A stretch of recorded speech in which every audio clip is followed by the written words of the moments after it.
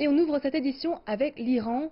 Le dirigeant suprême iranien l'ayatollah Ali Khamenei a promis une puissante vengeance contre ceux qui ont tué le commandant de la force Al-Quds des gardiens de la révolution iranienne, Qassem Soleimani. La menace est une réponse à une frappe à la roquette américaine à l'aéroport international de Bagdad qui a tué Soleimani. Le Pentagone a déclaré que le président américain Donald Trump avait ordonné l'assassinat et que cette décision visait à dissuader tout autre plan d'attaque iranien. L'armée irakienne a affirmé qu'au moins huit personnes avaient été tuées, dont le commandant de la milice irakienne Abu Mahdi al-Mourandis.